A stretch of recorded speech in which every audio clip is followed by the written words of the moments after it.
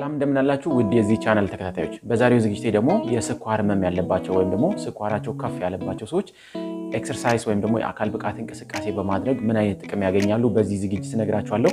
ከዝግጅቱ ጋር ዶክተር ሚሊዮን ነኝ። እንድትከታተሉ ጋብዛለሁ። የአካል ብቃት እንቅስቃሴ በጣም ብዙ ጥቅሞች አሉት። የስኳር መጠንን ለመቀነስ መጥፎ የምንላቸውን ወይም ደግሞ LDL የምንለውን የኮሌስትሮል መጠን መቀነስ፣ እንደዚሁም ደግሞ triglycerides የምንላቸውን የኮሌስትሮል አይነቶች እንደዚሁ መቀነስ፣ እንደዚሁም ደግሞ total cholesterol የምንለውን መቀነስ ከ exercise ጋር ወይም ደግሞ ከአካል ብቃት እንቅስቃሴ ጋር አብረው የሚመጡ ነገሮች ናቸው። እንደዚሁም ደግሞ ክብደት መቀነስ፣ እንደዚሁም ደግሞ የስኳርን መጠን መቀነስ፣ እንደዚሁም ደግሞ የኢንሱሊን sensitivity ን መጨመር ከአካል ብቃት እንቅስቃሴ ጋር አብረው ሊመጡ የሚችሉ ነገሮች ናቸው።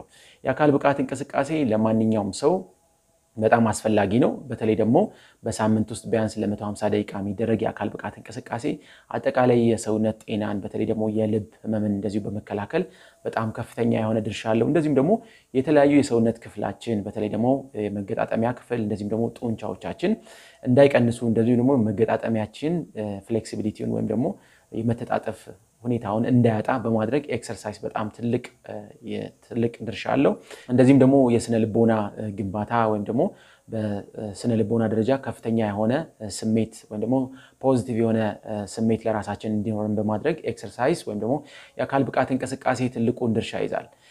እንዲሁም ደግሞ የስኳር ህመም ያለባቸው ሰዎች የአካል ብቃት እንቅስቃሴ ማድረግ አለባቸው። በተለይ ደግሞ የስኳር ህመም ያለባቸው ሰዎች ማድረግ ካለባቸው ነገሮች መካከል አመጋገባቸውን ማስተካከል፣ እንደዚህም ደግሞ ክብደታቸውን መቆጣጠር ያስፈልጋቸዋል። እነዚህ ታዲያ መደረግ የሚችሉባቸው አማራጮች ወይም ደግሞ ማስተካከል ከምንችልባቸው መንገዶች አንዱ የአካል ብቃት እንቅስቃሴ ነው። የአካል ብቃት እንቅስቃሴ ብዙ አይነት ይኖራል። aerobics የምንላቸው የአካል ብቃት እንቅስቃሴዎች እንደዚህም ደግሞ resistance training የምንላቸው የአካል ብቃት እንቅስቃሴዎች የስኳር መጠንን በመቀነስ እንደዚሁም ደግሞ የኢንሱሊን sensitivity ን በመጨመር በተለይ ደግሞ ጡንቻዎቻችን ስኳርን እንዲጠቀሙ በማድረግ በደማችን ውስጥ የሚገኘውን የስኳር መጠን በማውረድ exercise ወይም የአካል ብቃት እንቅስቃሴ ትልቁን ድርሻ ይዛል። ስለዚህ የአካል ብቃት እንቅስቃሴ ሰዎች በተለይ ደግሞ ስኳር ያለባቸው ሰዎች ሲያደርጉ መጠንቀቅ ያለባቸው ነገሮች እንደዚሁ አሉ።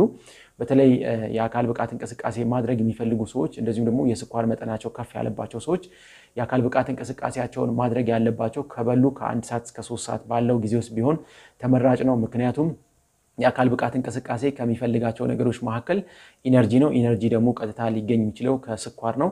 ስለዚህ ሰውነታቸው በቀላሉ ያላቸውን የስኳር መጠን በመሰባበር ሙሉ ለሙሉ በመጠቀም hypoglycemia የምንለው ወይም ደግሞ የስኳር መጠን በደማቸው ውስጥ እንዲቀንስ በማድረግ በድንገት እንዲወድቁ የማድረግ እድሉን ሊፈጥርባቸው ይችላል።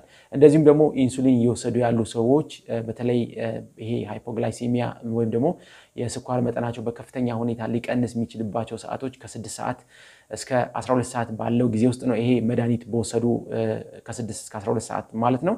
በዚህ ጊዜያቶች ውስጥ የአካል ብቃት እንቅስቃሴ ባያደርጉ በጣም ተመራጭ ነው። እንደዚሁም ደግሞ የአካል ብቃት እንቅስቃሴ እያደረጉ ያሉ በተለይ ደግሞ የስኳር መድኃኒት እየወሰዱ ያሉ ሰዎች እንደዚሁም ደግሞ የስኳር ህመም ታማሚዎች ማድረግ ካለባቸው ነገሮች መካከል መነሻ የስኳር መጠናቸውን ማወቅ ያስፈልጋል። ሁሌም የአካል ብቃት እንቅስቃሴ ከማድረጋቸው በፊት የስኳር መጠናቸው ከመቶ በላይ እንደሆነ ማወቅ አስፈላጊ ነው። አለዛ የተወሰኑ ጣፋጭ የሆኑ ፍራፍሬዎችን በመመገብ የስኳር መጠናቸውን ትንሽ ከፍ ማድረግ ይኖርባቸዋል።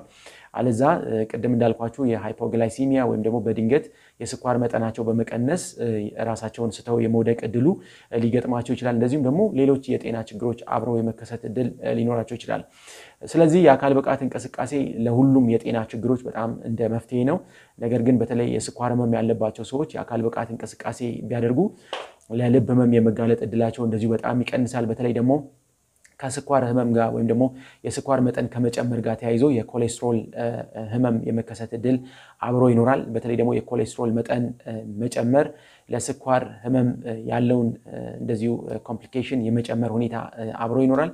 በተለይ ደግሞ የኮሌስትሮል ህመም እንደዚሁ የኮሌስትሮል መጠን የሚጨምር ከሆነ ልብ ላይ ከፍተኛ የሆነ ጫና ይኖራል። ስለዚህ አንድ ሰው የአካል ብቃት እንቅስቃሴ ሲያደርግ የኮሌስትሮል መጠኑ ሲቀንስ የልብ ጤንነቱ እንደዚሁ የተጠበቀ ነው የሚሆነው። እንደዚሁም ደግሞ የኢንሱሊን ሴንሲቲቪቲው መጨመሩ በደም ውስጥ የሚገኝን የስኳር መጠን ቶሎ ቶሎ ወደ ጡንቻዎች እንደዚሁም ደግሞ ወደሚጠቀሙ የሰውነቶች ክፍሎቻችን እንደዚሁም ደግሞ ወደ ጉበታችን በመውሰድ በደማችን ውስጥ የሚኖረውን የስኳር መጠን በከፍተኛ ሁኔታ የመቀነስ ሁኔታ ያሳያል።